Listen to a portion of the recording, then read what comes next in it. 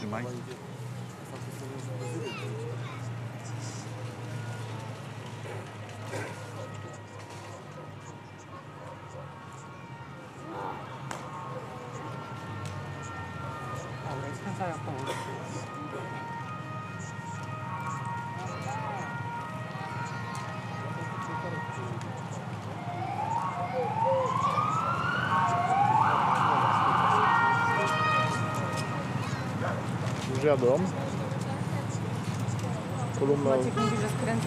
Powinniście być. To już tak, już.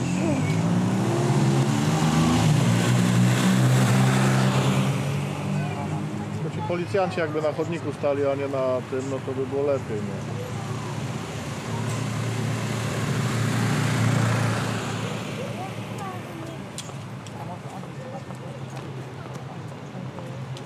Zapisie Andrzejku jesteś.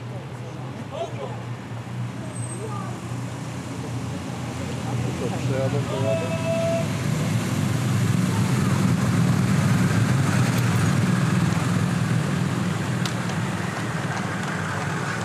A możemy pana poprosić, żeby był? Pana tu? Nie, policjanta, no bo tak stanie.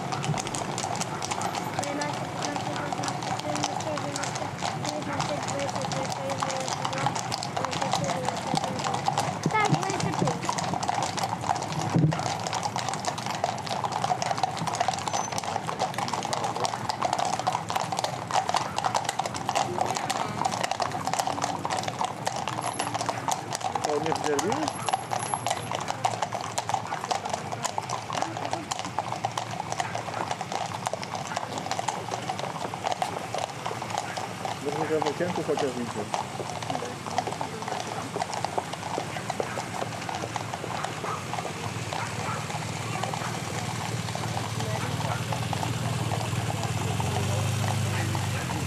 Widzenia.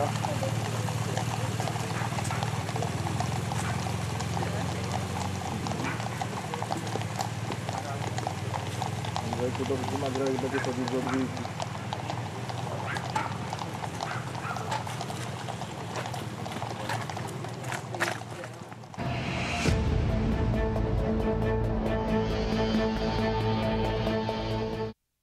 Jana Pawła II, świętego Jana Pawła II.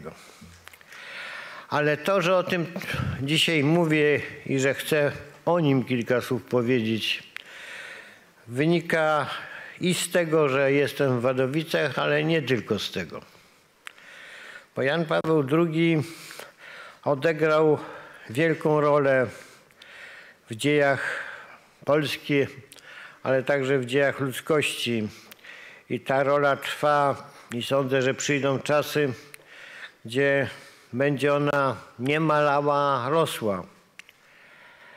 Ale to jest jedna prawda, którą jak sądzę wszyscy tutaj na tej sali znamy i wszyscy te oceny, te najwyższe, jakie może na w ogóle wobec człowieka sformułować oceny, podzielamy. Ale jednocześnie musimy pamiętać, że Jan Paweł II jest dzisiaj w naszym kraju, w jego ojczyźnie, bardzo ostro i konsekwentnie atakowany. Atakowany brutalnie, atakowany skrajnie niesprawiedliwie, atakowany za różne grzechy, które jednak nie były jego grzechami. Jest niszczony, tak to można powiedzieć. Jest niszczony jako wielki autorytet. Jest niszczony w wielkiej mierze dlatego, że jego postać nie tylko wpisała się do polskiej historii, jak może żadna inna, ale także dlatego, że stała się częścią tej historii, częścią polskiej tożsamości. I o to właśnie chodzi. Chodzi o to, żeby ten element polskiej tożsamości, ten można powiedzieć fundament tożsamości związanej z chrześcijaństwem podważyć, by w ten sposób zmienić nasz kraj, zmienić Polskę, by odrzucić wartości, na których opieraliśmy się, dzięki którymi, którym po prostu jesteśmy, bo wiecie Państwo, że nasze dzieje były skomplikowane i że mogłoby nas nie być. I to nie tylko dlatego, że znaleźliśmy się w pewnym momencie przez 123 lata pod zaborami. Tych zagrożeń było znacznie więcej. Polska zrodziła się w wyjątkowo trudnym miejscu Europy. Nie mogę tutaj Państwu przedstawić wykładu naszej historii, nawet skróconego, ale pamiętajcie, ze wszystkich stron byliśmy atakowani, a po dwóch stronach Polski były dwa narody wielokrotnie od nas liczniejsze, ale także dysponujące, przynajmniej na początku naszej historii, wyższymi możliwościami, wyższymi możliwościami cywilizacyjnymi. Przynajmniej pięć razy więcej Niemców, czy właściwie wtedy trzeba jeszcze powiedzieć Germanów i mniej więcej tyle samo razy więcej, a może nawet sześć czy siedem razy więcej narodów ruskich. Tak to się wtedy określało. A do tego pieczęgowie, później połowcy, a więc te najeźdźce, plemiona, później dzisiejsi nasi przyjaciele Litwini, Jadźwingowie, ataki wikingów od strony morza, także ataki naszych pobratymców z Czech, a także z tych plemion, które zaginęły, których dzisiaj nie ma, a które żyły na zachód od naszych dzisiejszych granic. I z tym wszystkim musieliśmy sobie dać radę.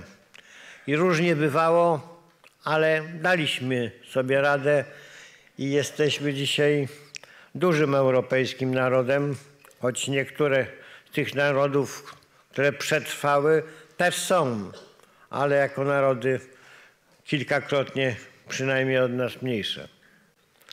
I to jest nasz wielki sukces. I ten sukces w wielkiej mierze wynika z naszego narodowego usposobienia, które jednak w pewnym momencie zostało, a później coraz bardziej było opierane właśnie o wiarę, o chrześcijaństwo, a konkretnie o Kościół katolicki, jego system wartości, ten system, który stał się właściwie jedynym w Polsce powszechnie znanym systemem nie tylko religijnym, ale także i etycznym. Systemem, naprzeciw którego przynajmniej dzisiaj, ale tak w gruncie rzeczy w naszej historii bywało najczęściej, stoi tylko nihilizm, odrzucenie wszelkich wartości, stoi barbarzyństwo, stoją różne formy dzikości. A w oparciu o tego rodzaju podstawy w żadnym wypadku żaden naród rozwijać się nie może. I pamiętajmy Państwo, że jeżeli tego rodzaju kampania jest prowadzona, to ona jest prowadzona dlatego, że my w dalszym ciągu mamy wrogów. Trzeba to sobie jasno powiedzieć.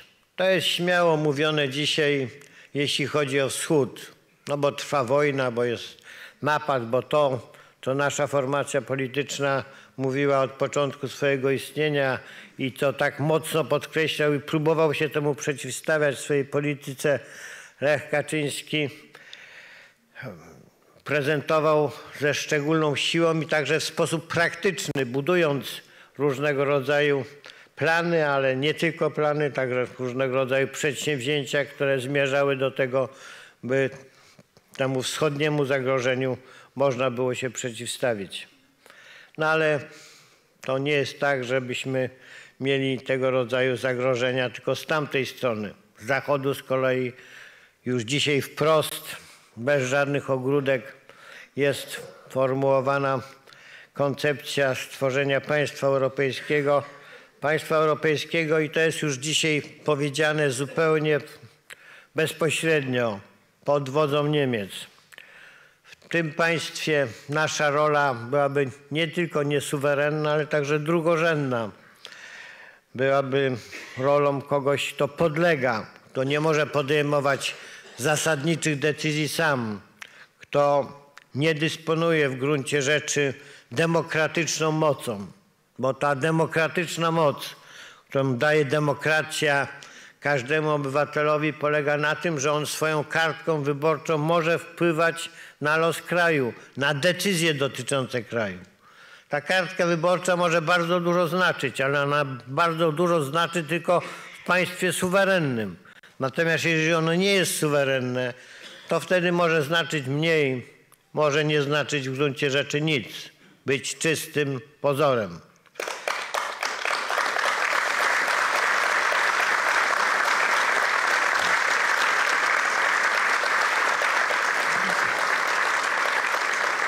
A nam Polakom, i to też właśnie wynika z naszego usposobienia przerobionego, można powiedzieć, poprzez chrześcijaństwo, ale takiego, którego źródła można szukać, którego źródeł można szukać jeszcze w dalszej nawet przeszłości, jeszcze tej przedchrześcijańskiej, że ta demokracja jest nam szczególnie bliska, bo jest nam szczególnie bliska wolność, bo demokracja to też wolność. Chcemy być ludźmi wolnymi.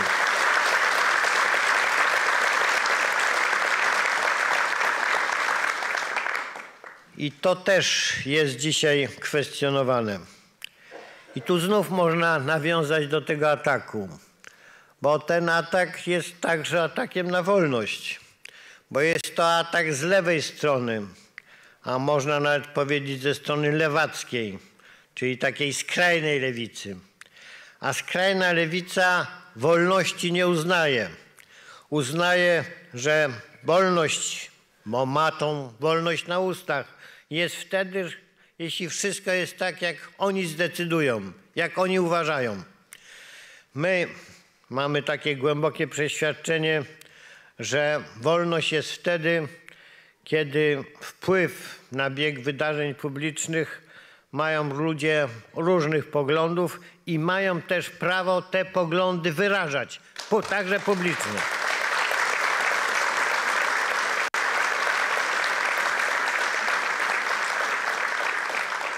Nawet wtedy, jeżeli lewicy, a już nie mówiąc o lewactwu, to się bardzo skrajnie nie podoba. Jak to jest dzisiaj ujmowane? Powtarzam, w wypadku Kościoła, w wypadku świętej pamięci Jana Pawła II, wielkiego świętego Jana Pawła II, to jest atak, to jest pomawianie. Ale jeśli chodzi o płaszczyznę czysto polityczną, to zabieg ma troszkę inny charakter. Otóż lewica uznaje, i to już nie tylko ta skrajna, że albo są oni, albo jest co najmniej zagrożenie faszyzmem. To znaczy, jeżeli rządzą siły prawicowe, czy nawet centroprawicowe, tylko konsekwentnie centroprawicowe, a nie chodzi tu o centroprawicę czy prawicę bezobjawową, bo taką dziś w Europie też mamy, która w gruncie rzeczy na wszystko się zgadza, na wszystko, czego domaga się lewica. To mamy do czynienia, powtarzam, minimum z zagrożeniem faszyzmem albo w gruncie rzeczy po prostu z faszyzmem. To jest stary pomysł jeszcze Stalina z lat 30. Albo jesteś tak zwanym jednolitofrontowcem, czy razem z komunistami masz zwalczać faszyzm, albo jesteś faszystą.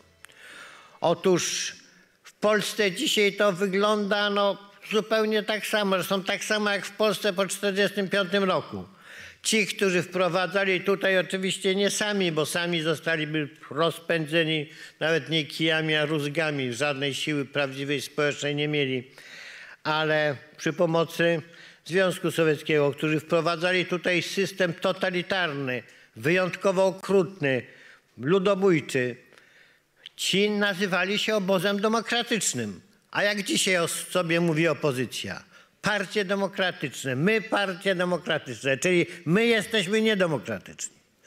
Prawo i Sprawiedliwość jest niedemokratyczne i rządzi niedemokratycznie. A rządzi niedemokratycznie, bo chce służyć całemu społeczeństwu. Także tym, którzy w postkomunizmie, tym systemie, który w Polsce z różnymi tam zachwianiami panował przez kilkanaście lat, te prawa, a może nawet dwadzieścia kilka, bo to właściwie trzeba tutaj mówić o roku 15 jako o zakończeniu, że w tym systemie tak naprawdę prawa mieli tylko niektórzy.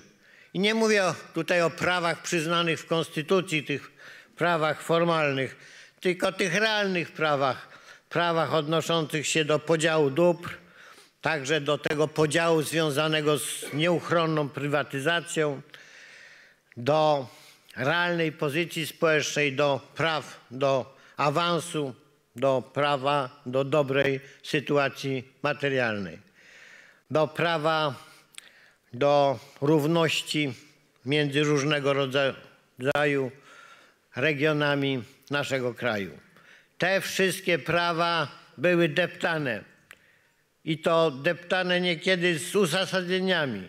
No choćby ta koncepcja rozwoju polaryzacyjno-dyfuzyjnego, czyli najpierw kilka wielkich miast ma się bogacić, a później to się no, w drodze dyfuzji, czyli takiego porównania, to jest oczywiście przenośnia biologicznego procesu przenikania różnego rodzaju płynów i soli między komórkami, e, żywymi komórkami, miałoby się to rozszerzać na cały kraj. Gdyby Państwo mnie spytali, czy w jakimkolwiek kraju ta koncepcja została zrealizowana i to wyszło, rzeczywiście bogactwo kilku ośrodków rozszerzyło się na inne, to mogę Państwu powiedzieć, że nie wyszło nigdzie. Że tam, gdzie rzeczywiście coś takiego było, no przykładem w państwach demokratycznych może być Hiszpania, a w niedemokratycznych Rosja jest kilka bardzo bogatych ośrodków, a reszta jest w dużo, dużo gorszej sytuacji. W Rosji po prostu w nędzy. Moskwa jest bogata.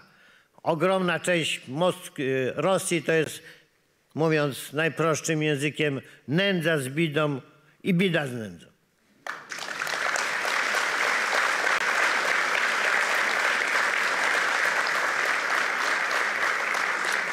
Myśmy, szanowni państwo, tę koncepcję odrzucili. Najpierw krytykowaliśmy tą politykę, kiedy ona była realizowana. Zresztą w pewnym momencie, widząc jej nieskuteczność, można to tak określić, propagandową, z tego się wycofano w słowach, ale w czynach się nie wycofano, a później przystąpiliśmy do wielkiej operacji jej zmiany.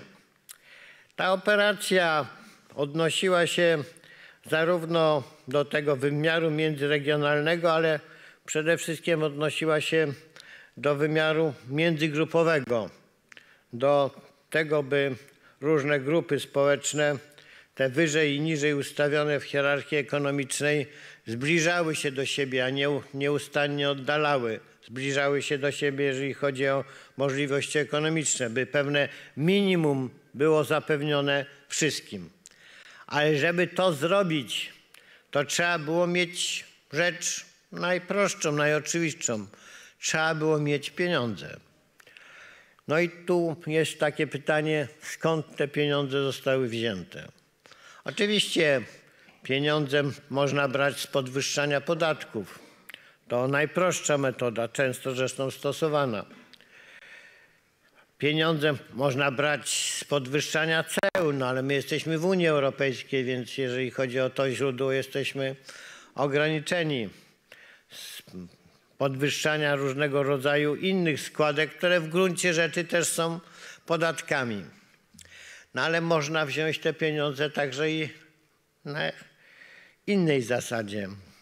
Można mianowicie podatki obniżać, te inne źródła dochodu też traktować jako stałe, co najwyżej z lekka wraz z rozwojem gospodarczym wzrastające, a po prostu uniemożliwić rabunek naszego kraju. Ten rabunek, który był częścią postkomunizmu, można powiedzieć integralną częścią postkomunizmu. I to, proszę Państwa, właśnie zrobiliśmy. I to się udało.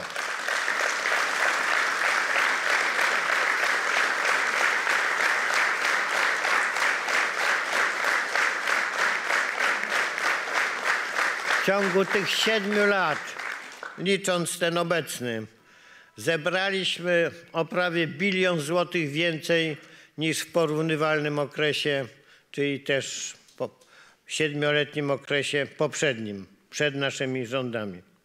Oczywiście po części wynikało to z wzrostu PKB. Po części też nie ma co tego ukrywać, bo my nie mamy obyczaju okłamywać społeczeństwa z inflacji. Szczególnie w ostatnim okresie, ale tylko w ostatnim, bo przedtem inflacja była umiarkowana, nawet były okresy deflacyjne za naszych rządów, czyli kiedy ceny spadały. Ale przede wszystkim, proszę Państwa, właśnie dlatego, że ten ogromny wypływ pieniądza z naszego budżetu, z naszych dochodów, z tej sfery finansów publicznych, która jest dużo szersza niż budżet, został w wielkiej mierze, chociaż jeszcze nie w 100%, zahamowany. I to dało naprawdę gigantyczne sumy, liczone w ciągu tych siedmiu lat w setkach miliardów złotych. Dzięki temu mogliśmy, Szanowni Państwo, podjąć to wszystko, co stanowi naszą politykę społeczną, czego symbolem jest 500, a można powiedzieć, że personalnym symbolem, mam nadzieję, że pani premier się nie obrazi, pani premier Beata Szydło.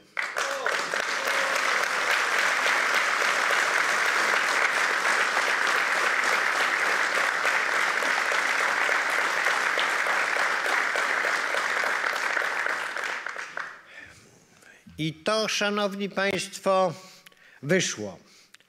To wyszło. Dziś na politykę socjalną wydajemy około 80 miliardów złotych rocznie i to jest naprawdę dużo, ale to jest tylko część tego naszego wysiłku. Bo po drugie, rozpoczęliśmy czynną politykę gospodarczą.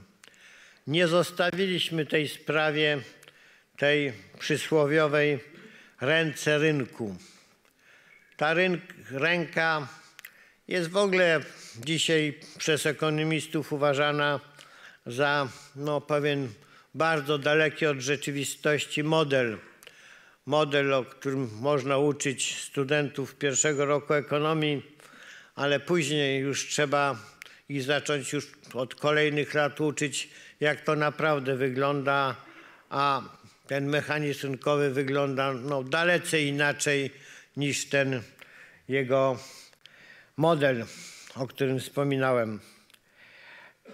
Trzeba było podjąć inwestycje państwowe i te bardzo ważne, choć mniejsze jak kop, przekop, te ogromne jak to, co nazywa się CPK, Centralnym Portem Komunikacyjnym. To naprawdę może w Polsce bardzo wiele zmienić.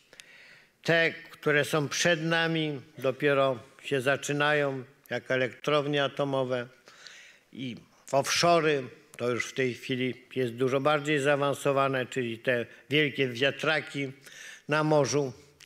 Krótko mówiąc, inwestycje, które w ogromnej mierze są inwestycjami środków państwowych, z tym, że nie z budżetu, rzadko z budżetu, przede wszystkim z firm państwowych. To one mają te przedsięwzięcia podjąć.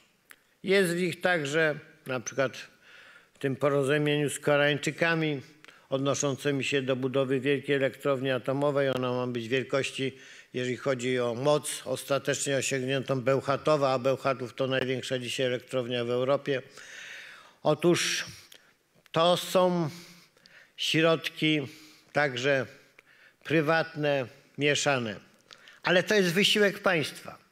Państwo się włączyło włączyło się do polityki, bo jest włączone w bardzo wielu krajach na świecie, w gruncie rzeczy wsz- wszędzie, nawet w najbardziej liberalnych Stanach Zjednoczonych.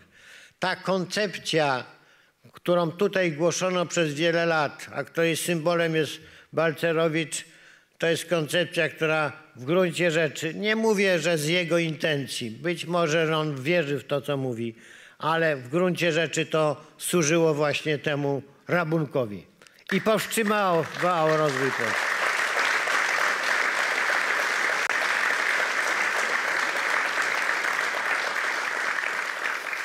I to jest, proszę Państwa, przedsięwzięcie drugie. Jest też to trzecie, to, które tutaj w tym okręgu senackim można obliczyć dokładnie na miliard czterysta kilkadziesiąt milionów złotych, bo tyle tych różnych programów, które są przeznaczone dla Polski gminnej, powiatowej, Polski średnich miast płynęło tutaj.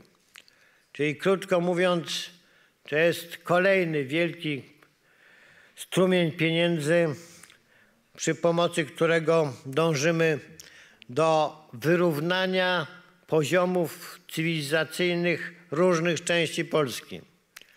Bo jesteśmy głęboko przekonani, że te dzisiaj bardzo daleko idące różnice powinny być w przyspieszonym tempie likwidowane. Nie możemy tego zostawić tylko normalnemu biegowi spraw, bogaceniu się ludzi, bogaceniu się różnych okolic, bo to trwałoby zbyt długo. My uważamy, że podstawowe urządzenia cywilizacyjne, tak jak choćby wodociągi, bo nie wszędzie w Polsce jeszcze są wodociągi, kanalizacja, gaz, no elektryczność już jest dostępna wszędzie, chociaż ludzie starsi, tacy jak ja, doskonale jeszcze pamiętają, że elektryfikacja trwała i bardzo wiele wsi w Polsce, nawet blisko Warszawy, nawet kilkanaście kilometrów od Warszawy, jeszcze w latach 60. nie miało prądu. Dzisiaj często o tym zapominamy, ale tak było. Ale dzisiaj niestety nawet i w Warszawie są jeszcze domy, gdzie nie ma tych najbardziej elementarnych urządzeń. Ale w Warszawie to jest maleńki margines, ale w wielu okolicach to wcale taki margines nie jest. I my to chcemy zmienić. My chcemy oczywiście zlikwidować wykluczenie komunikacyjne. Chcemy, żeby wszędzie były dobre drogi, żeby były połączenia i przecież jeden z naszych programów też się przyczynia bardzo do tego, żeby tych połączeń było bardzo wiele. Żeby różnego rodzaju instytucje publiczne miały właściwe gmachy, żeby mógł się rozwijać sport, oświata, kultura, domy kultury, biblioteki. To wszystko, co ma służyć podnoszeniu poziomu ludzi, szczególnie młodych pokoleń, a także zaspokajać potrzeby kulturalne.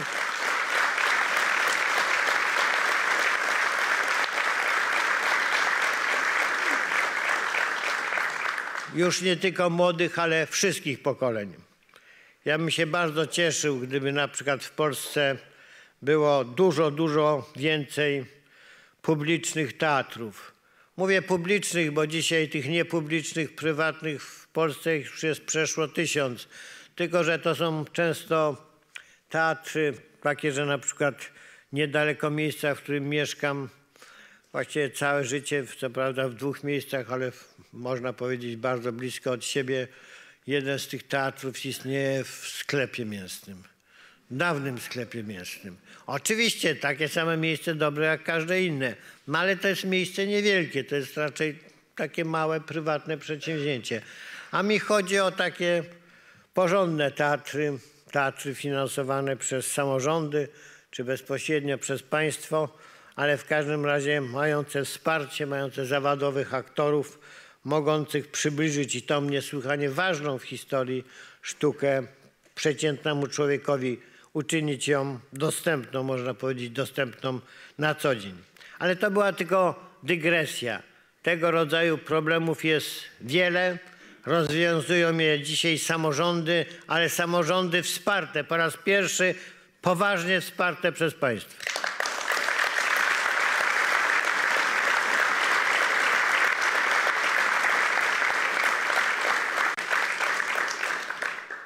I to wszystko, Szanowni Państwo, dzieje się w sytuacji trudnej, bo nie mieliśmy szczęścia w ciągu tych siedmiu lat. Najpierw były lata rzeczywiście dobre, ale później przyszedł COVID, coś zupełnie zaskakującego. Wydawało się, że to już jest historia, wielkie epidemie. Śmiertelność momentami liczona już ciągu jednego dnia w liczbach powyżej tysiąca zachorowań, wiele tysięcy, setki tysięcy, miliony. Choroba, na którą początkowo nie było żadnego lekarstwa ani żadnej szczepionki. Wydawało się, powtarzam jeszcze raz, że to coś, co ludzkość ma za sobą. A okazało się, że nie.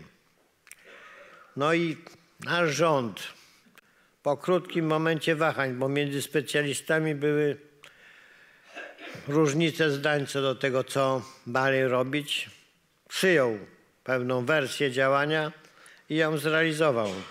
Zrealizował, jeżeli chodzi o opiekę nad chorymi, o szpitale specjalne i szpitale zwykłe, gdzie wszędzie były oddziały covidowe.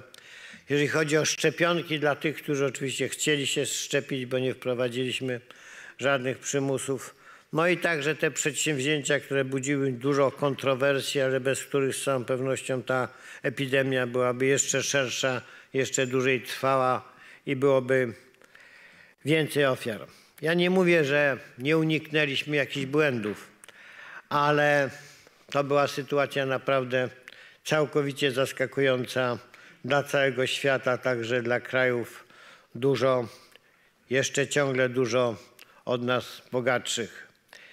I można powiedzieć, że daliśmy sobie radę. No ale później przyszła nowa, też zupełnie, przynajmniej do niedawna, niespodziewana dla ogromnej większości ludzi, bo niektórzy politycy o tym myśleli, o takiej perspektywie, no choćby mój brat przecież o tym, mój świętej pamięci brat o tym mówił, to znaczy o perspektywie wojny. No i nawet całkowicie trafił, bo mówił, że kolejna będzie Ukraina, kolejna po Gruzji. I rzeczywiście jest. I stanęliśmy tutaj, proszę Państwa, przed takim dylematem. Prowadzić politykę, użyję prostego słowa, tchórzliwą, politykę, która w gruncie rzeczy byłaby poddaniem się tym pogróżkom Putina, że niech to ktoś spróbuje nam się przeciwstawić, pomóc Ukrainie, to zobaczy, co go spotka.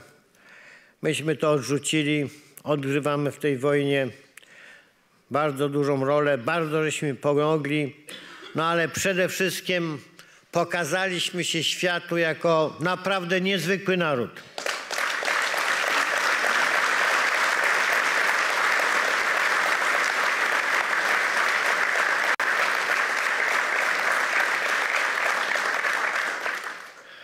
To jest naprawdę coś w rodzaju cudu, żeby przyjąć tak wielu uchodźców i nie tworzyć obozów dla uchodźców.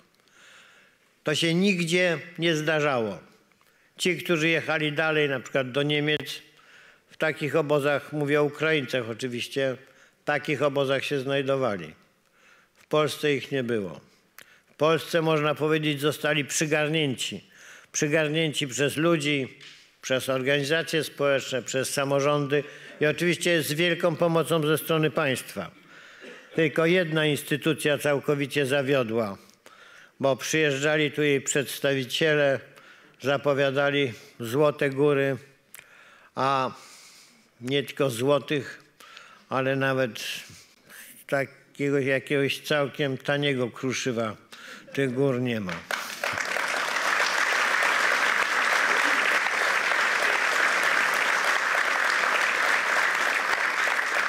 Tą instytucją jest, proszę Państwa, Unia Europejska.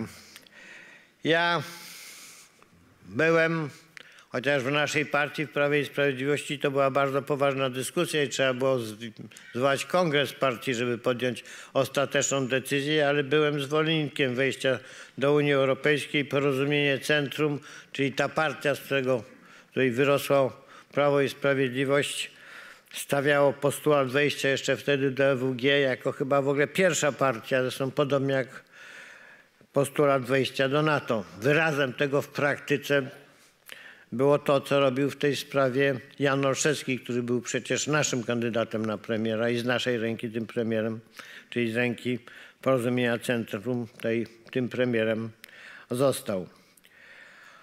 Ale to nie oznacza, że uważamy tą sytuację za normalną i że uważamy za normalną sytuację, w której nie otrzymujemy od Unii nie tylko pomocy dotyczącej uchodźców, ale także nie otrzymujemy innych środków, które nam się należą. Zgodnie z prawem unijnym całkowicie się nam należą.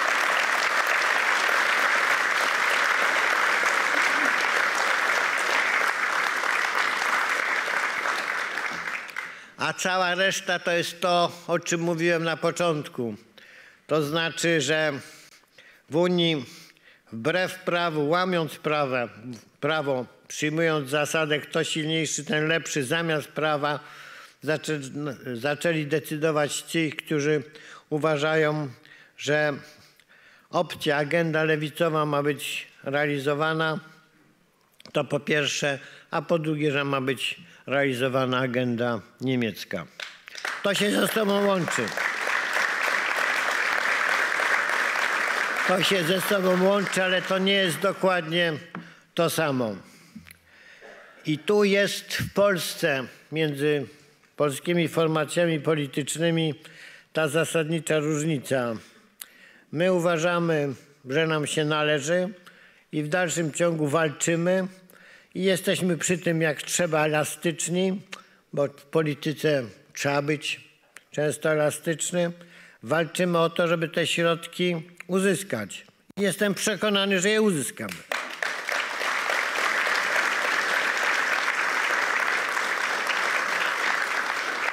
Ale to nie oznacza, że mamy realizować agendę antysuwerennościową, czyli tą niemiecką, i agendę lewicową czy lewacką, którą można w skrócie określić, chociaż to jest właściwie nie tylko skrót, to jest coś znacznie więcej niż skrót, jako antychrześcijańską, a można nawet ją jeszcze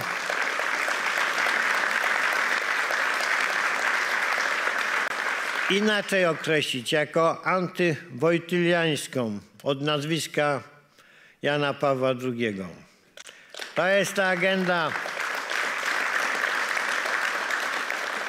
która ma nas zmienić kraj w taki, w którym jak to już dzisiaj jest w wielu państwach na zachodzie, można powiedzieć, zdrowy rozsądek uszedł gdzieś do jakiegoś kąta i boi się głowy stamtąd wychylić.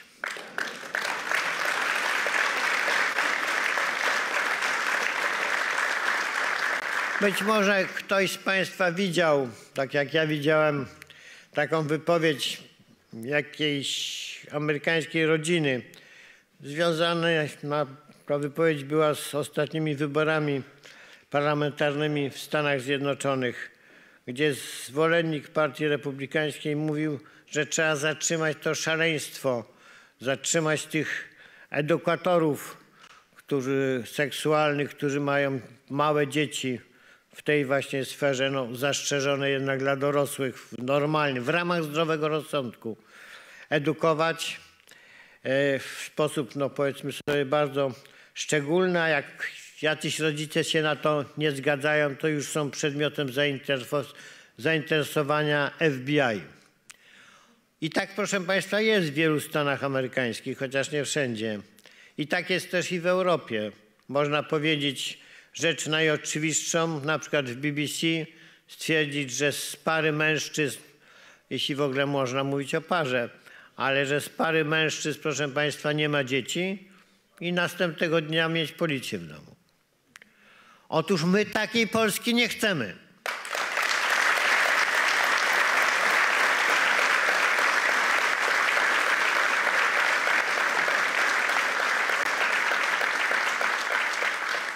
Nie chcemy, proszę Państwa, takiego kraju, a niestety te zjawiska już w Polsce się szerzą, gdzie dwunastoletnie dziewczynki ogłaszają się lesbijkami. Ja dzisiaj miałem okazję tutaj na placu udzielać wywiadu takiemu, który był traktowany, czy będzie traktowany jako praca szkolna. Trzem dziewczynkom zapytałem się, ile mają lat. No właśnie 11-12. No i tak pomyślałem sobie, no to mają być te. Już nie będę kończył. Co one w ogóle do tego mają? Stało naprzeciwko mnie troje dzieci. Znaczy trzy dziewczynki, nie troje, tylko trzy. Trzy dziewczynki. To jest, proszę Państwa, szaleństwo. I temu szaleństwu trzeba się przeciwstawić. Trzeba się przeciwstawić.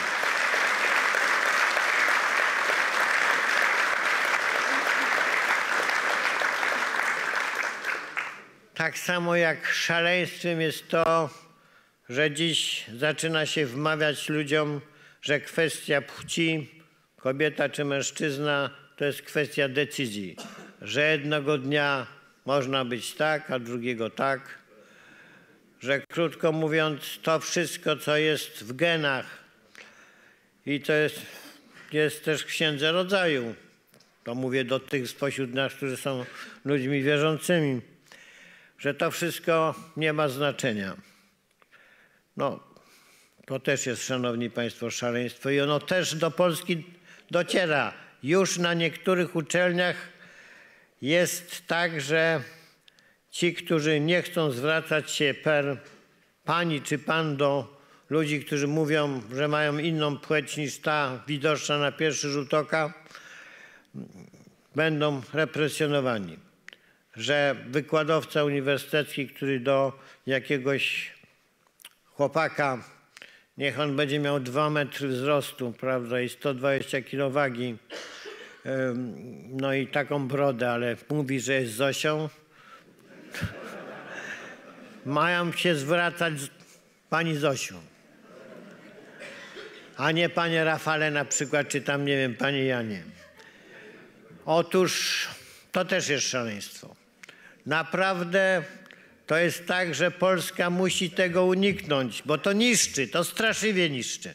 To niszczy rodzinę, ale przede wszystkim to niszczy zdrowy rozsądek. No, nie może być tak, żeby to, że gdzieś jakaś część Zachodu popadła w taki, no, nazwijmy to szczególny stan, to my też musimy w ten stan popadać.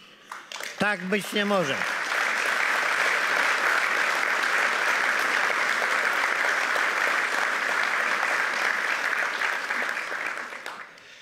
I to jest, szanowni państwo, ta kolejna różnica między nami a tymi, z którymi przyjdzie nam się zetrzeć w wyborach, jak można przypuszczać, bo to wynika z konstytucji, w październiku przyszłego roku, a więc za 11 miesięcy. To jest ta stawka.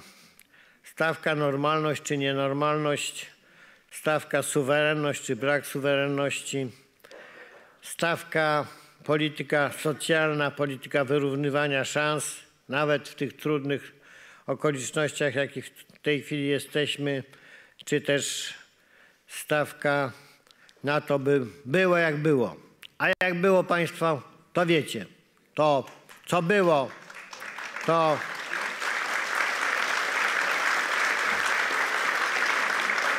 najlepiej można scharakteryzować tak bardzo krótko stawką pracy godzinowej. No bywało, że to było 4 zł jeszcze w 2015 roku, czy 5, a mówiono mi na jednym ze spotkań tam gdzieś w głębszej prowincji, yy, czy, no nie w takim miejscu jak Wadowice, w naszej biedniejszym, że na dwa. Otóż To można powiedzieć była istota rzeczy. To było to, co nam wtedy proponowano. My proponujemy wielokrotnie więcej. Wiecie Państwo, jaka w tej chwili jest stawka ta najniższa godzinowa, jaka za chwilę będzie najniższa pensja. 3600 była chyba 1800. E, No w każdym razie to będzie przynajmniej dwa razy więcej. Oczywiście jest inflacja, realnie rzecz biorąc nie będzie to dwa razy więcej, ale jednak to będzie dużo, dużo więcej. I to takim skrócie najdalej idącym pokazuje różnicę tych dwóch polityk. My wykorzystujemy wszystkie możliwe mechanizmy zmierzające do tego, żeby nie było tak wielkich różnic, żeby płace wzrastały. Wszystkie płace, a nie tylko te najwyższe.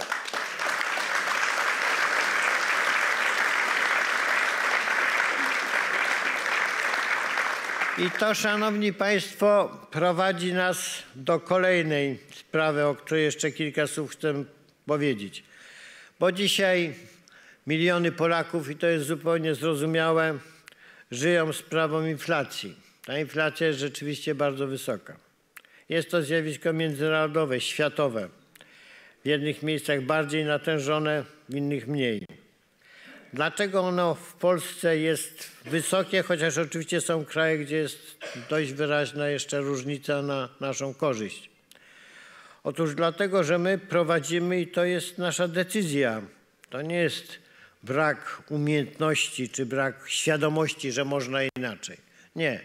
To jest nasza decyzja, żeby walka z inflacją była prowadzona w ten sposób, żeby nie doprowadzić do tego największego nieszczęścia, jakim jest bezrobocie i uruchomienie takiego mechanizmu drogi gospodarki w dół.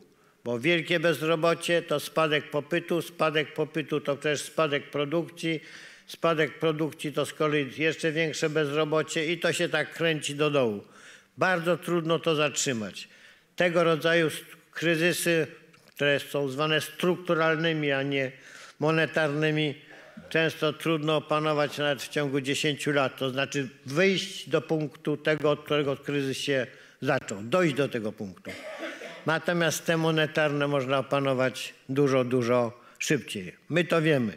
To opiera się na wiedzy ekonomicznej, a przede wszystkim opiera się to na naszym przeświadczeniu, że władza musi wszystko robić, żeby Polacy już po raz trzeci od 1989 roku nie liczę tych szoków z okresu komunistycznego, nie przeżywali tego ciężkiego szoku, bo był pierwszy szok balcerowiczowski, po prostu straszliwy, bezrobocie niby 20%, ale nie liczono chłoporobotników, więc trzeba pamiętać, że tak realnie to było przynajmniej 25 albo i więcej procent.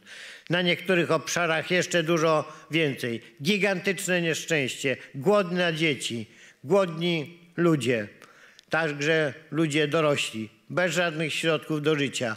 Ja sam to przeżywałem. Błagania na takich salach jak ta dzisiaj w różnych mniejszych miejscowościach, żeby chociaż 10 zł dziennie dano.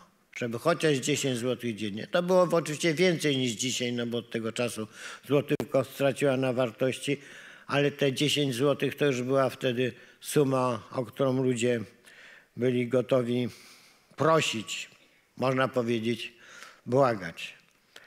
I zawalenie się ogromnej części gospodarki, która wcale nie musiała się zawalić. I gigantyczne złodziejstwo. I te wszystkie akcje likwidacyjne, ci likwidatorzy, którzy latami paśli się na tej likwidacji. Jeszcze do dziś dnia nie zostało to do końca zlikwidowane. Niedawno się dowiedziałem, że taka znana pewnie Państwu spółdzielnia Cepelia jest likwidowana od 32 lat. Od 32 lat miała majątek około półtora miliarda złotych, jeszcze zostało 40 milionów. Jeszcze ciągle ją likwidują. A gdzie, te, gdzie ta reszta? No w różnych kieszeniach. Ale nie kieszeniach tych, którzy powinni w ramach tej likwidacji dostać. Bo to była w gruncie rzeczy taka spółdzielnia spółdzielni, zespół licznych grup ludzi, którzy wytwarzali te produkty no, polskiej kultury ludowej. Czyli gdzieś tam w tej sferze, którą stworzyli komuniści przy końcu swojej władzy, tej sferze, gdzie nie ma żadnej kontroli, mówię głównie o sferze spółdzielczej, to działa po dziś dzień. Bo powtarzam, tam państwo nie ma żadnych instrumentów. No ale to są już na szczęście wyjątki. Natomiast w latach 90. to była, można powiedzieć, reguła. Później przyszło drugie schłodzenie balcerowiczowskie. Te skutki, Polska już była trochę w lepszej kondycji, były już nieco mniejsze, ale też ok- straszne. A Później to trzecie, już za czasów tego kryzysu rozpoczętego w Stanach Zjednoczonych w 2008 roku, któremu Tusk i jego ekipa w gruncie rzeczy w ogóle się nie przeciwstawiała. My stworzyliśmy te wszystkie tarcze antykryzysowe, chroniliśmy miejsca pracy także w, w czasie COVID-u. Dzisiaj staramy się chronić i miejsca pracy, i budżety rodzinne poprzez różnego rodzaju mechanizmy obniżające ceny elektryczności, węgla, e, wszelkiego rodzaju źródeł ciepła, także dla małych i średnich przedsiębiorstw. Wtedy stworzono niby mechanizm pomocy. Wiecie Państwo, ile przedsiębiorstw z tego skorzystało? Jedno. A dlaczego jedno? Bo był tak skonstruowany, że się po prostu nie opłacał. Nie opłacało się go przyjąć. I ci, którzy go konstruowali, świetnie o tym wiedzieli. Tak to zrobiono specjalnie. Żeby powiedzieć, zrobiliśmy, no ale nie chcą. No. To ich wina.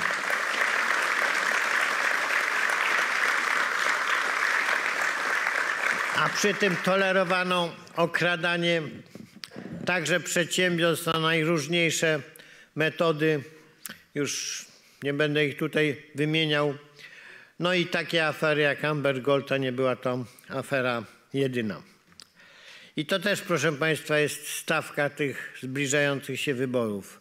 Władza, która w kryzysach dba o społeczeństwo i jakoś, chociaż to jest dzisiaj bardzo trudne, daje sobie z tym radę, bo naprawdę lepiej mieć wyższe ceny, chociaż to jest, wiem, że okropne, ale my staramy się szczególnie tym grupom najniżej uposażonym pomóc, na przykład emerytom, bo to jest na pewno grupa, która bardzo wiele traci, a my przede wszystkim też prowadzimy politykę i to jest przyczyna tego, że ta inflacja jest większa niż w krajach zachodnich, której wzrost płac dopiero niedawno został leciutko o 1% przewyższony przez wzrost inflacji.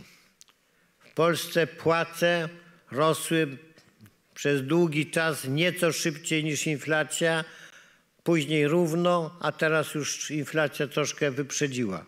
Natomiast na zachodzie to jest relacja mniej więcej taka: 10% inflacji, 2% wzrostu płac. Czyli siła nabywcza płac spada. No to oczywiście hamuje inflację. Gdybyśmy prowadzili taką politykę, to oczywiście w Polsce też inflacja by hamowała. Tylko, że narastałoby przy tym bezrobocie i to wszystko, o czym już mówiłem. Tego, proszę Państwa, nie chcemy i takiej polityki prowadzić nie będziemy. A ten kryzys,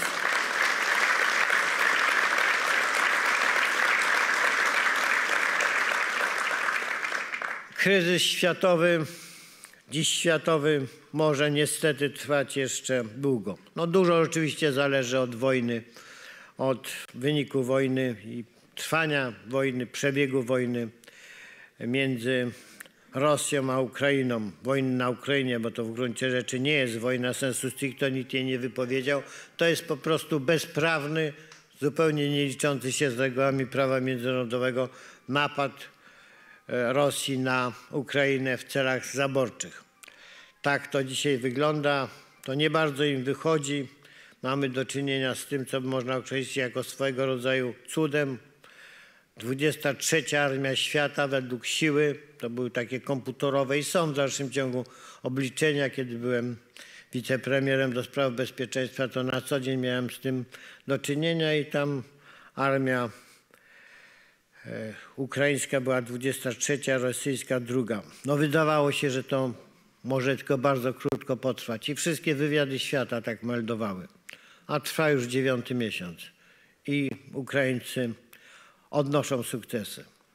Co to, proszę Państwa, oznacza?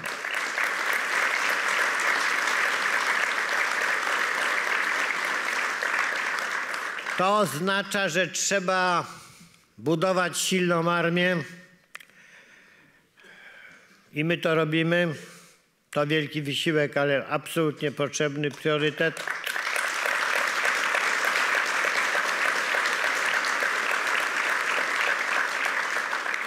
I trzeba budować, proszę Państwa, spójność i gotowość do walki, do obrony ojczyzny, narodu.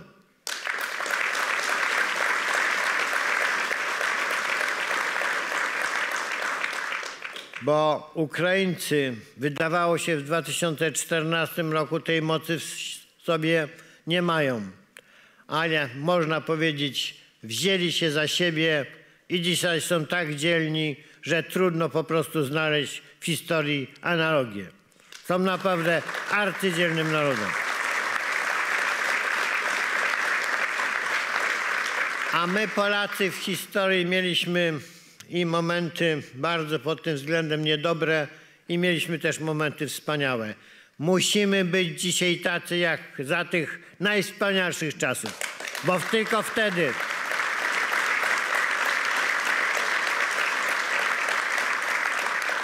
uzbrojeni, dobrze uzbrojeni, nowocześnie uzbrojeni, dobrze wyszkoleni, unikniemy wojny, bo wtedy nie zostaniemy zaatakowani.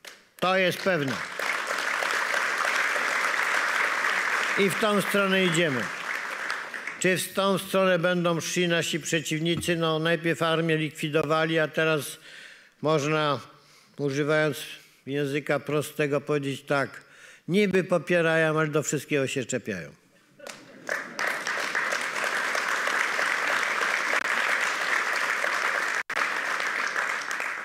I to jest też ta kolejna różnica między nami. Jest ich oczywiście wiele.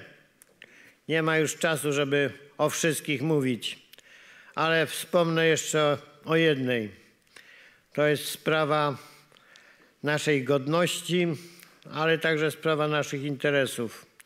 Niemcy, którzy dzisiaj chcą przewodzić Europie, 70 krajom, nawet takim jak Meksyk, z którymi nie mieli właściwie żadnego większego sporu, zapłacili jakieś odszkodowania. Polakom nie zapłacili. Myśmy tego zażądali. Zażądali w imię sprawiedliwości, w imię naszych interesów ekonomicznych, wcale tego nie ukrywamy, ale także w imię naszej godności. Polaków po prostu nie można tak traktować.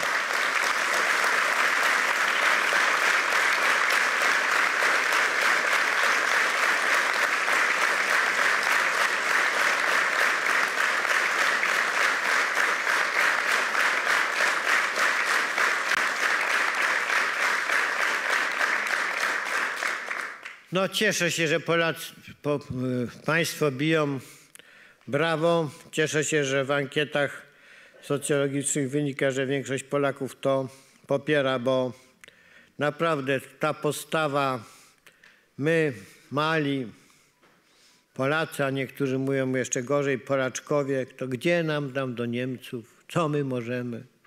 To jest, proszę Państwa, postawa samobójcza. Samobójcza. A nią reprezentują nasi przedstawiciele.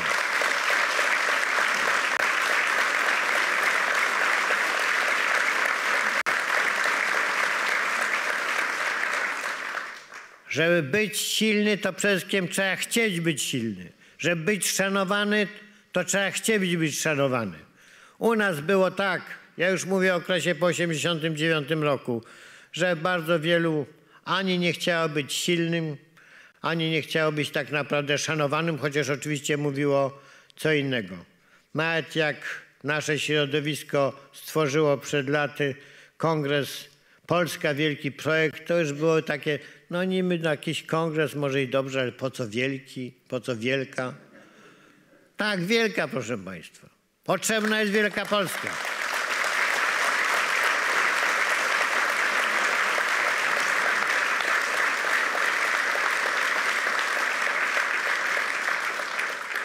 I wierzę, że będziemy w stanie do tego doprowadzić. ale na to potrzebna jest wielka mobilizacja przed tymi wyborami. To jest wielki apel o przekonywanie tych, którym naprawdę zawrócono w głowie. Ja nie mówię o tych, w których wybuchła nienawiść, której się nie da w krótkim czasie uga- ugasić. Nie wiadomo w gruncie rzeczy o co chodzi, ale nienawiść jest uczuciem irracjonalnym. Ale chodzi o tą dużą grupę ludzi, wszystkie badania na to wskazują, środka, do których można przemówić, żeby tylko przestali wierzyć w ten obraz Polski, który pokazuje TVN. Bo ten obraz Polski z rzeczywistością naprawdę nie ma nic wspólnego.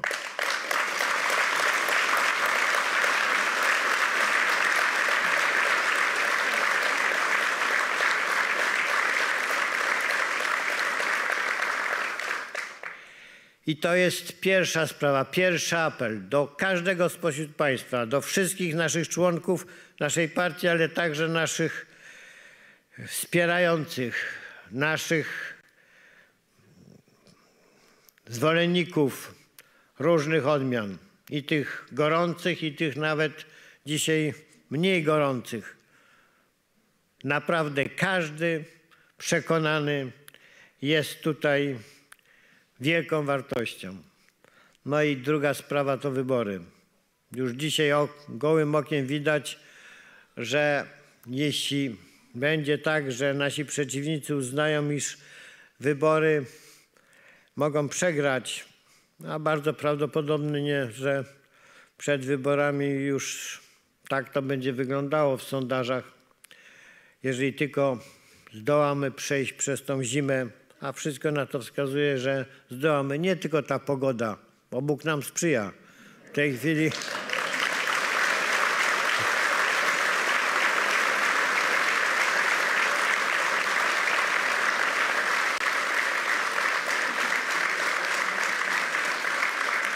W tej chwili przecież mógłby być mróz i śnieg, no to zupełnie normalne.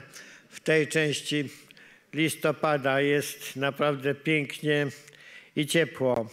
Ale jeżeli tylko zdołamy to przejść, to naprawdę, i to są opinie także naszych przeciwników, niechętnych nam socjologów i politologów, droga do zwycięstwa będzie otwarta. Ale oczywiście trzeba będzie tego wielkiego wysiłku. My ten wysiłek mamy zaplanowany. On będzie rozłożony na odpowiednie przedsięwzięcia, nie tylko takie jak to dzisiejsze, ten objazd kraju na wiele, wiele innych, adresowanych do różnych grup społecznych ale w tej sytuacji tamci chcą zmienić wybory w wielką awanturę. I to już jest jasne, kiedy powierzyli ochronę wyborów kodowi. No co to jest kod? No to jest grupa awanturników. Grupa, która urządza te wszystkie demonstracje, obrzuca jak jajami, to jeszcze dobrze, ale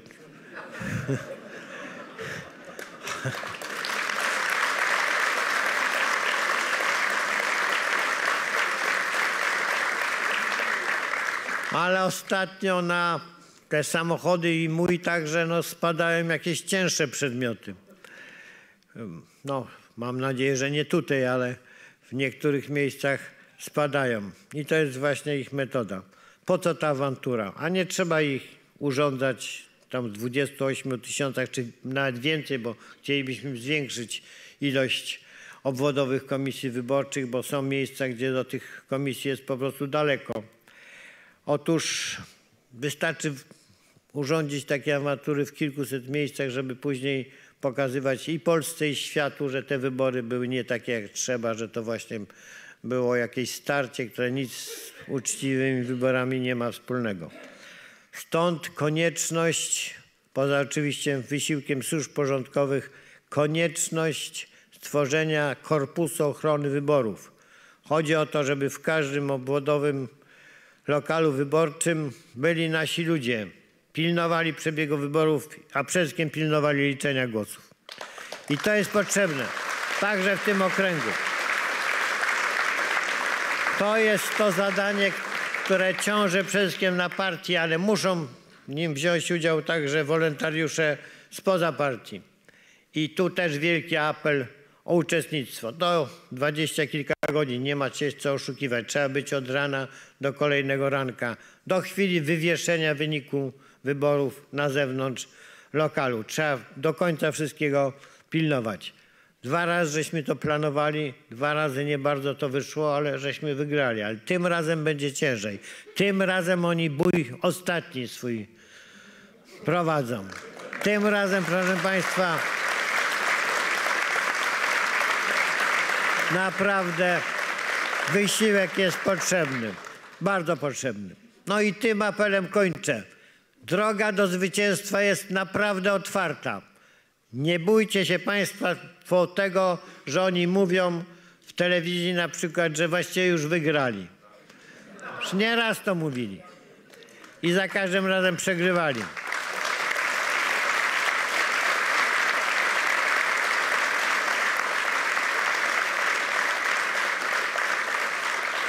Ale tym razem jest ciężej także nam. Potrzebny jest ten wielki wysiłek, a zwyciężymy. Zwyciężymy przede wszystkim dla Polski. Partykularnie dla nas, dla Prawa i Sprawiedliwości, ale przede wszystkim dla Polski. Jestem o tym głęboko przekonany. To jest przed nami, ale wysiłek, wysiłek i jeszcze raz wysiłek. I to, żeby się nie dać zjeść, nie dać oszukać. Dziękuję bardzo.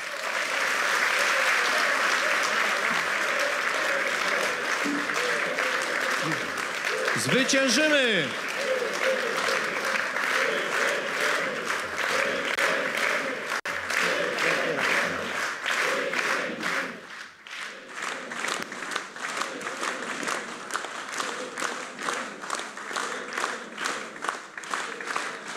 Tak, szanowni państwo, jestem głęboko przekonany, że zwyciężymy. Ta wiara jest w nas. Ta wiara tutaj jest widoczna na tej sali, w tym entuzjazmie, ale również w naszej obecności, ponieważ słowa pana prezesa, pana premiera Jarosława Kaczyńskiego o wielkiej Polsce, silnej Polsce, mocnej Polsce są niezwykle istotne, bo wierzę głęboko, że wszyscy, jak jesteśmy zgromadzeni, taką właśnie ojczyznę widzimy i takiej Polski chcemy.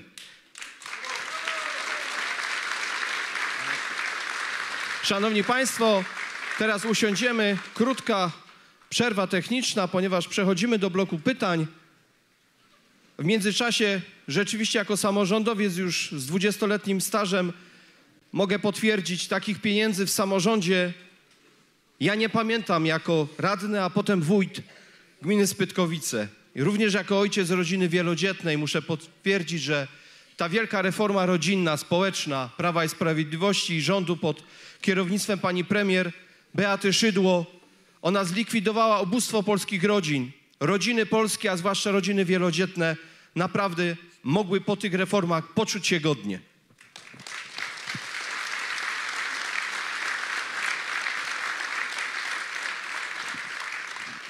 Tak przy okazji dzisiaj na placu przed kościołem spotkałem małżeństwo, gdzie jest 16, 16 dzieci. I to z jednej matki, że było jasne. Bo tam takich mężczyzn to można znaleźć, ale to wiadomo jak to jest. To jest Ale- rodzina państwa Nelec z Przeciszowa. Tak, to mogę jeszcze raz publicznie powiedzieć, że ta pani to jest naprawdę bohaterka i myślę, że powinna dostać orła białego. Za to, bo niczego tak w Polsce nie potrzebujemy jak dzieci. Polska może być wielka, ale no musi się rozwijać także, jeżeli chodzi o populację. I kiedy ja powiedziałem, że młode dziewczęta, takie do 25 lat, no, piją tyle, co ich rówieśnicy, a organizm mężczyzny i organizm kobiety inaczej reaguje na alkohol. Mężczyźni są tutaj dużo odporniejsi. To naprawdę nie chciałem nikogo urazić. Chciałem tylko powiedzieć pewną prawdę o pewnym szkodliwym zjawisku, bo ja jestem głęboko za stuprocentowym równouprawnieniem kobiet i mężczyzn we wszystkich dziedzinach życia. Ale to nie oznacza, proszę Państwa, że Kobiety mają udawać mężczyzn, a mężczyźni kobiety.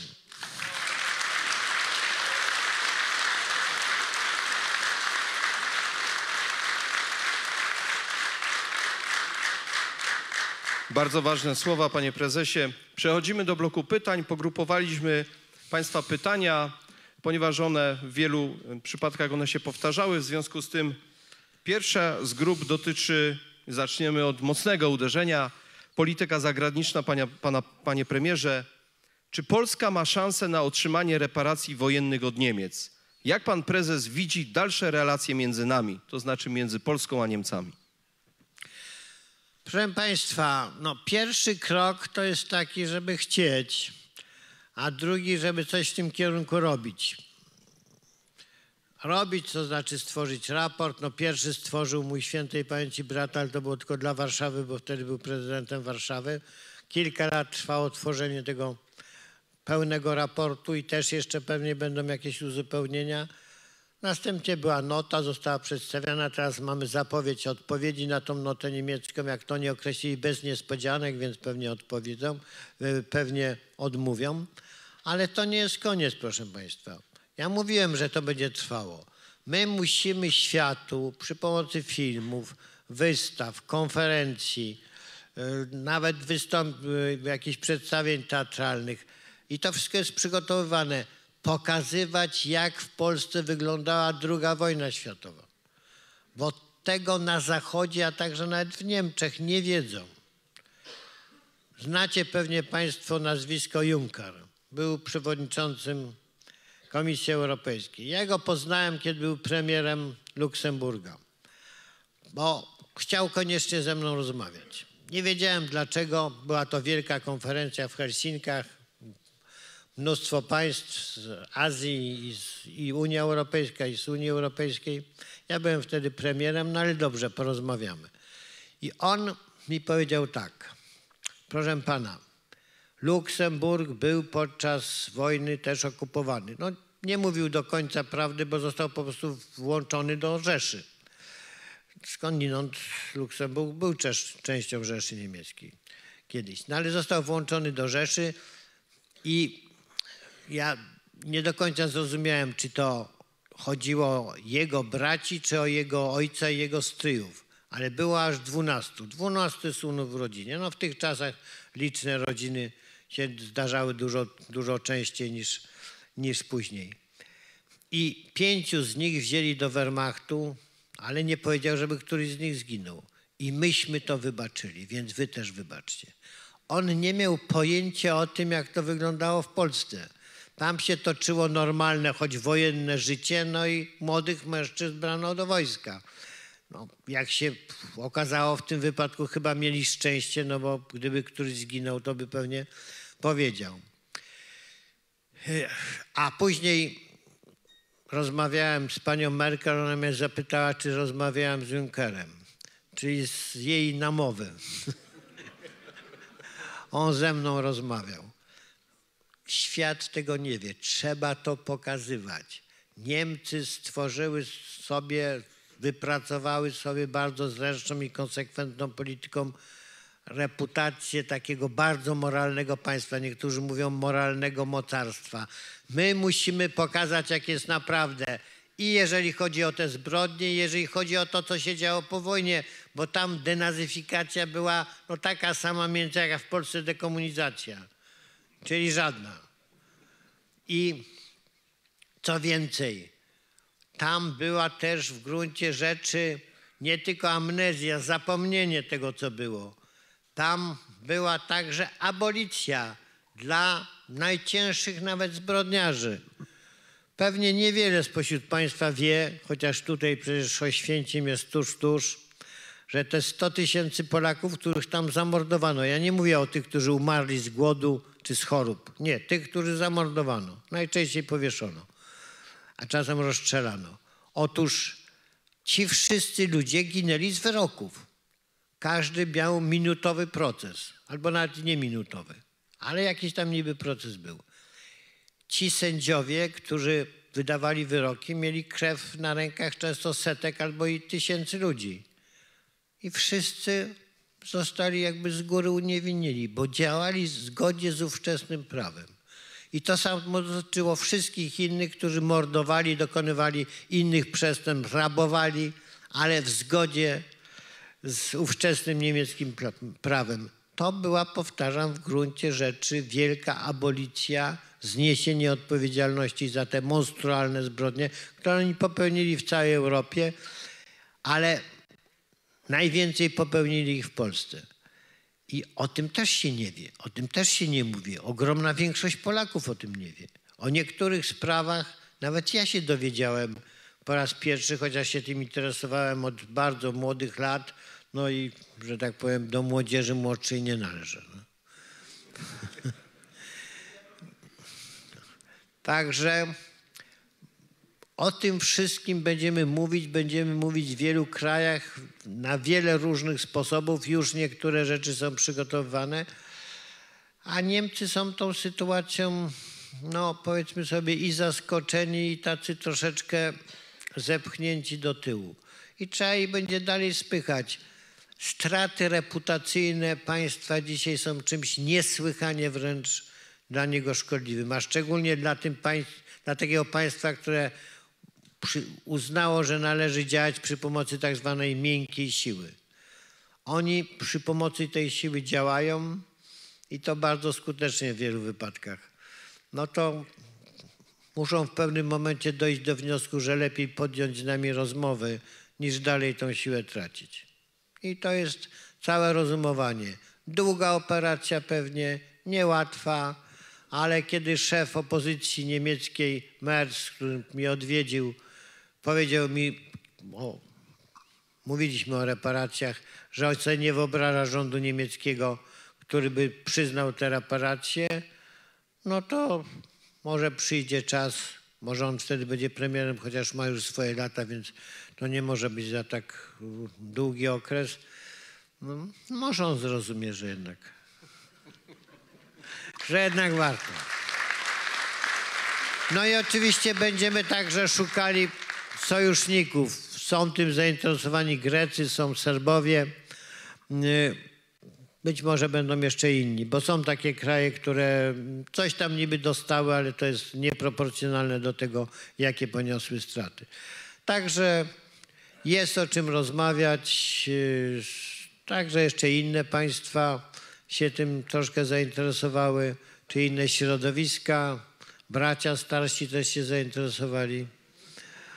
Więc będziemy konsekwentni szli do przodu i mam nadzieję, że wierzę w to, że przyjdzie moment rozmów.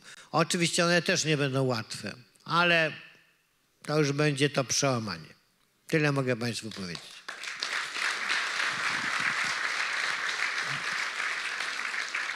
Panie prezesie, kolejne pytanie, krótkie i konkretne. Czy takie programy społeczne dla seniorów jak 13 i 14 emerytura będą utrzymane? Będą utrzymane. Proszę Państwa, my, jest kryzys, nie ma co ukrywać. Jest ciężki kryzys i on dotyczy także Polski. Ale my przyjęliśmy takie dwa założenia. Zbrojenia i socjal. To musi być utrzymane. Musimy wspierać rodziny, seniorów i musimy się niestety zbroić. Nie dlatego, że lubimy, że to dla nas jakieś za- zabawki, prawda, że, że nam nagle, no w moim wypadku już na niemłode lata się zebrało, żeby zostać żołnierzem. Chociaż nim byłem oczywiście w życiu, bo to w moim pokoleniu wszyscy przecież musieli przechodzić przez służbę. Ale to, chodzi po prostu o to, że dzisiaj to jest bezwzględna konieczność. Jeżeli wojna na Ukrainie nie skończy się kompletną klęską Rosji, nie w ten sposób, że Moskwa będzie zajęta, tylko w ten sposób, że ich wyprą po prostu z całej Ukrainy. No a jeżeli tego nie będzie, no to niestety ten pokój, jeżeli do niego dojdzie, czy rozejm, jeżeli do niego dojdzie, będzie tylko czasowy. To może być 5 lat, 8, 10, może nawet więcej, ale to będzie czasowe. Rosjanie będą dalej próbowali iść do przodu. I muszą być przekonani przez nas, przez naszą siłę, że jeśli nawet gdzieś chcą iść, to nie tu.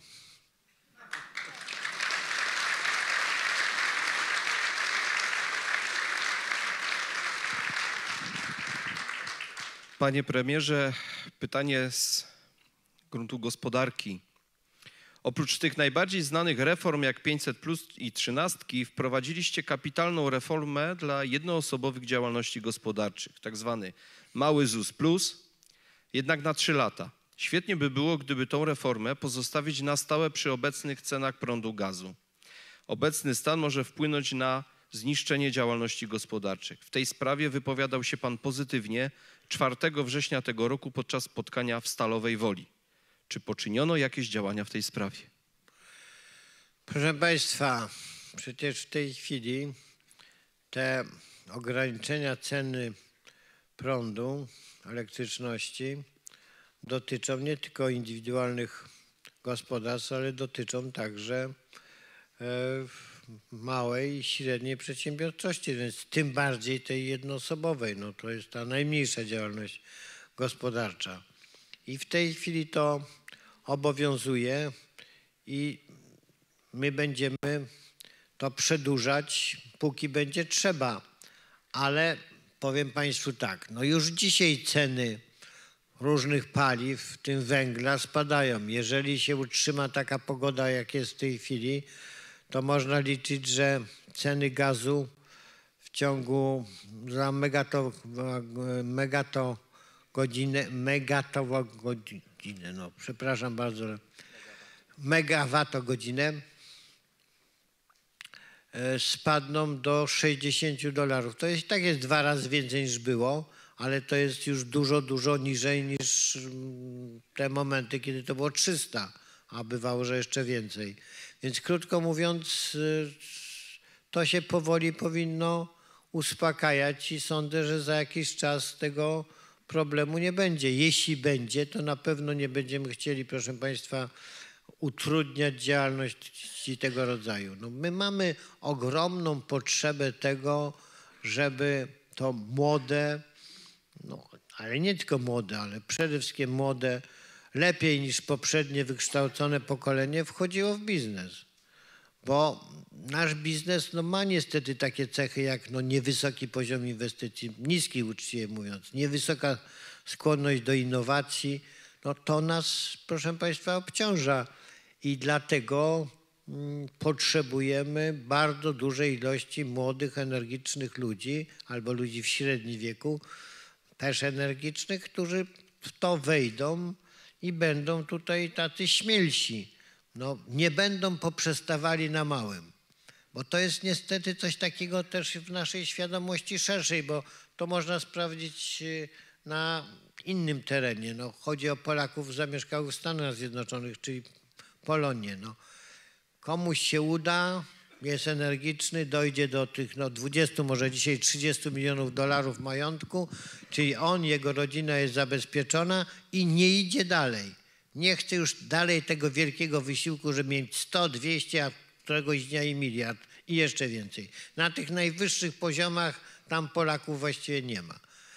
Takich przy każdym razie czystych Polaków, bo ludzie, którzy mają jakąś domieszkę krwi polskiej, to, to, to są, ale i to, proszę Państwa, trzeba u nas przełamywać.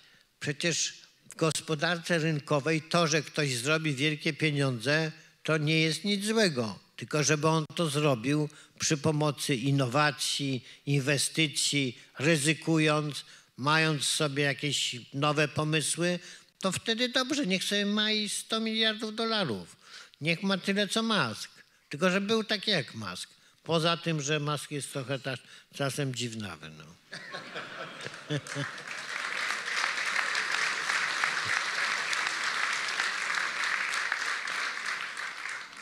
Ale powtarzam, my nikomu nie żałujemy, nie jesteśmy psem ogrodnika, tylko chodzi o to, żeby to nie wychodziło z różnego rodzaju, jak wy tutaj na południu mówicie, krętów.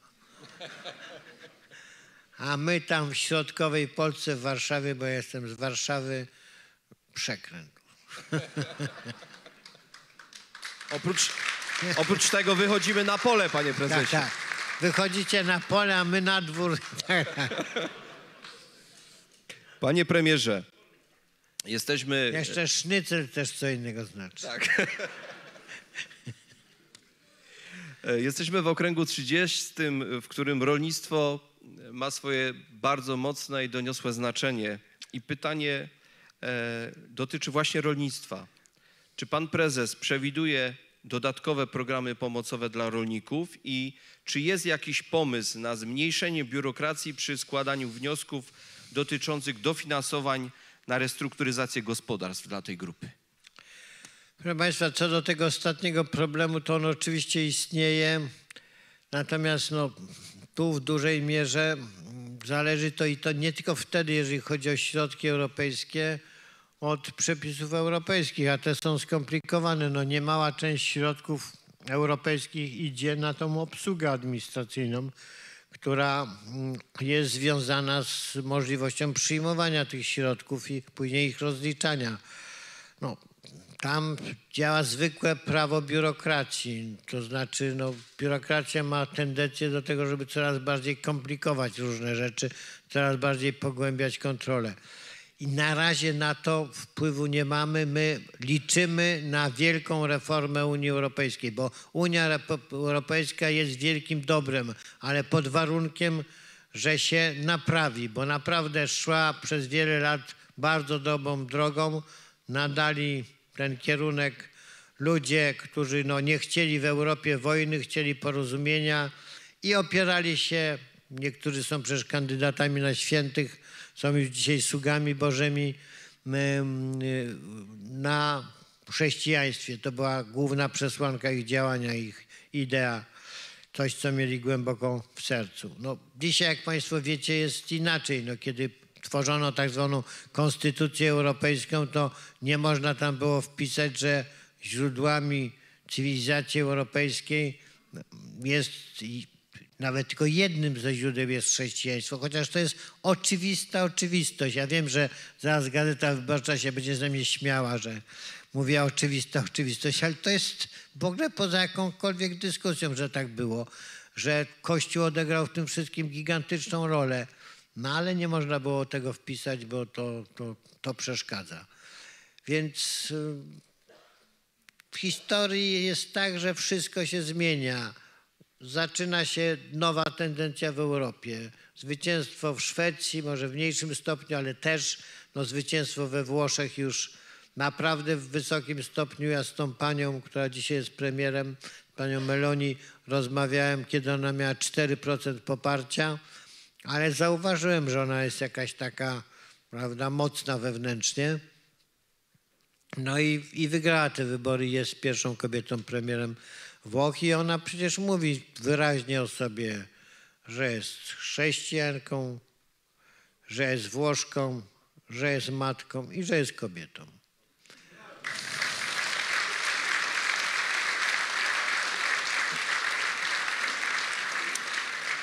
Panie prezesie, rozpoczęliśmy polityką zagraniczną i ostatnie Ale pytanie. ja za chwileczkę, tylko że ja jeszcze nie skończyłem, bo A, to ja przepraszam. za, w stosunkowo niedługim czasie, jeszcze w tym roku, będzie konferencja dotycząca wsi i tam wieś uzyska od nas kilka, jak sądzę, ciekawych dla niej sygnałów.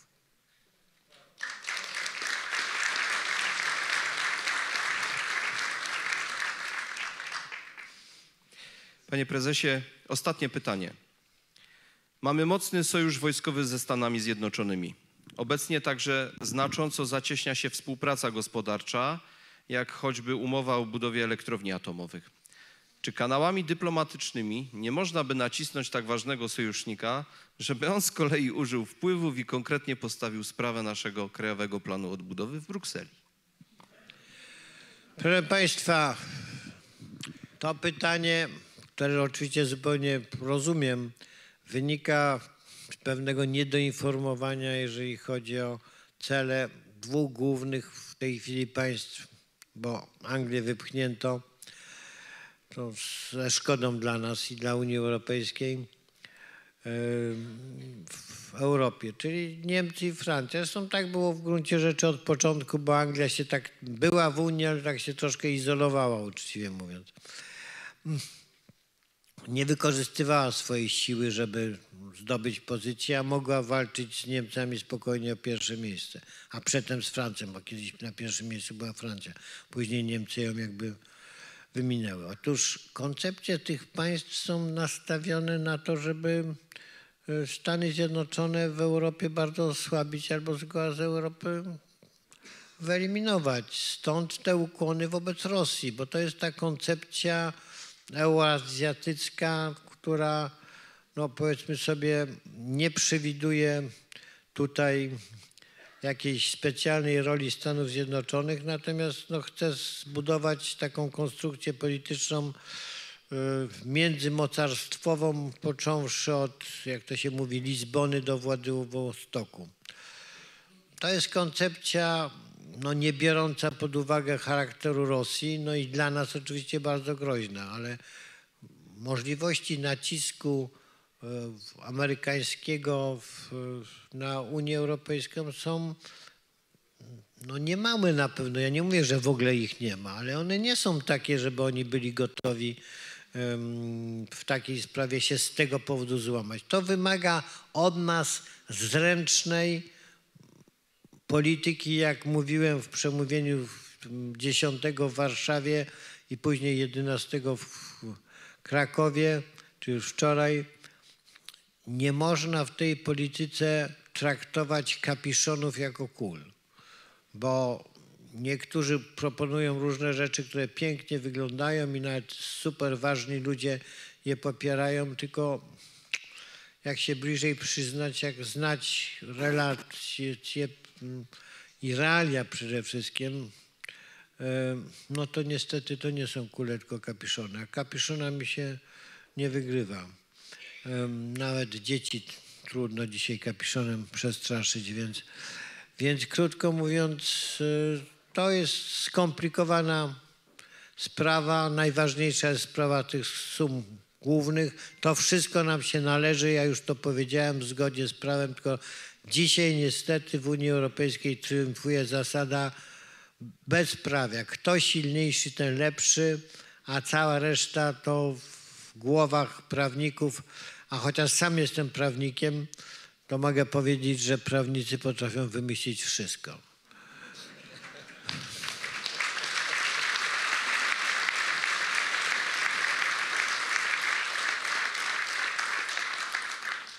Także tutaj nie będzie łatwo, ale, ale co się nam należy, to dostaniemy. Nie bójcie się Państwo. Szanowni Państwo, bardzo serdecznie dziękujemy panu prezesowi Prawa i Sprawiedliwości Jarosławowi Kaczyńskiemu. Panie prezesie, bardzo dziękuję za ważne i dobre słowa o Polsce, o naszym narodzie i o naszej przyszłości. Ale oczywiście mając tak zacnego gościa w Wadowicach, trudno go wypuścić bez prezentów, dlatego zapraszam tutaj panią sekretarz okręgu, panią Agnieszkę Jamrus i pana skarbnika Jarosława Jurzaka. Panie prezesie, proszę przyjąć te biało-czerwone kwiaty oraz to, co od nas wypływa, panie prezesie, z okręgu. Dziękuję bardzo.